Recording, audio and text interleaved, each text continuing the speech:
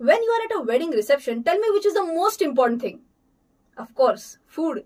Now with so many dishes in the buffet, you start getting confused as to which one should you focus on.